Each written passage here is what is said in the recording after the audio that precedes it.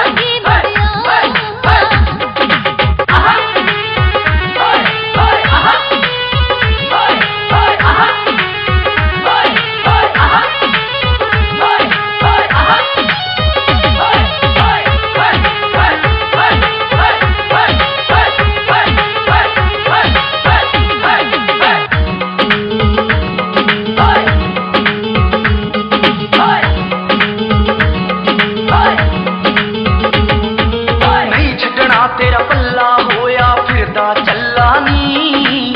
ਇੱਕੋ ਇੱਕ ਹਰੀਸ਼ ਮਾਪਿਆਂ ਦਾ ਪੁੱਤ ਕੱਲਾ ਨੀ। ਨਹੀਂ ਛੱਡਣਾ ਤੇਰਾ ਪੱਲਾ ਹੋਇਆ ਫਿਰਦਾ ਚੱਲਾ ਨੀ।